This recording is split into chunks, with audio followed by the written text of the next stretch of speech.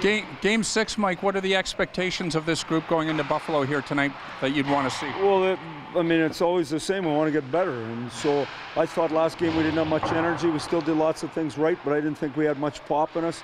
Uh, we're too light of a team in the offensive zone, so we're one and done too much for me. we got to be heavier in the offensive zone.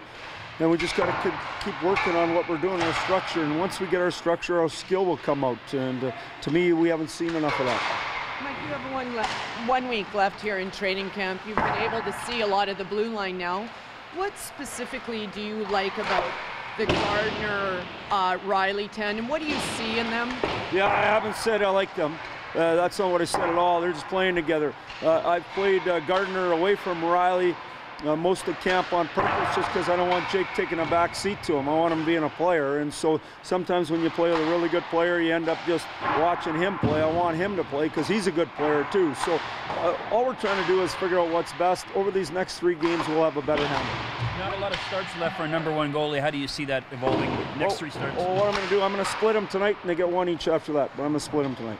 When you see a player like Rielly, I mean, he's only entering his third season. Right. But what do you see as the future for him? And, and I'm Well, I read, uh, someone sent me something yesterday, and I, I never thought much about that. I read that article, but to me, it's real simple. We got to learn how to play real well without the puck. We got to learn to rely. Uh, you have great legs, unbelievable legs, as good as anybody in the league. We don't want to rely on them on every play.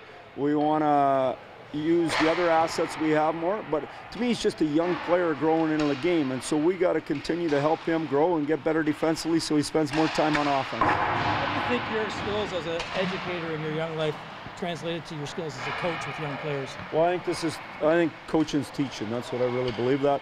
And so obviously, you know, I don't know what part you learned, you know, from your mom, your dad, you're you're going to college. I don't know which part. You guys don't know that either. I just know this is who I am. I'm trying to get better each and every day. We got a lot of work to do here. I understand that. Rich Clune's not the biggest guy, obviously. What do you see his uh, role in the organization at this point? Well, he's a great man. That's what I see. He's a guy who's struggled off the ice and now has his life totally cleaned up. So, he's a very important person in our organization that way. Uh, plus, he, he gives other guys courage. He's on the forecheck hard. He'll play hard tonight. How close would you say this group is?